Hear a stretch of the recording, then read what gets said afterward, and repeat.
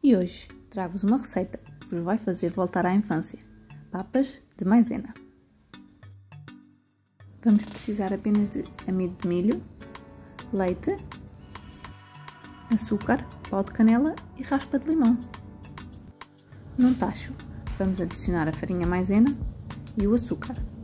Envolvemos bem e vamos adicionar o leite, o pó de canela e as raspas de limão. Está na hora de ligar o fogão.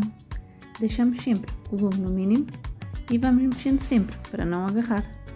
E se estás a ver o vídeo e ainda não subscreveste o canal, podes aproveitar e fazê-lo agora. E seguir-me também nas minhas redes sociais.